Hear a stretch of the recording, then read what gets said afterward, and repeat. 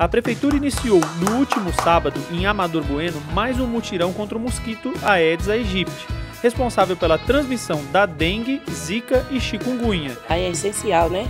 O trabalho da prefeitura combate a dengue, né? Quem teve a dengue, quem sabe o valor que tem da pessoa vir aqui, olhar direitinho, ver se está tudo em ordem.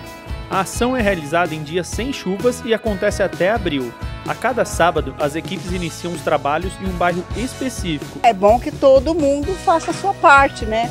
Recolhe os lixos, né? É, tira as águas da, da, da dos potinhos é, e as caixas d'água cubram, né? Porque deixar aberto é perigoso demais. O mutirão conta com o apoio do caminhão Cata Bagulho, que percorre as ruas recolhendo móveis velhos e sem uso. Excelente trabalho também, porque pelo menos deixa as, as vias, as ruas limpas, né? Procurar um lugar certo para estar tá descartando esses entulhos, entendeu?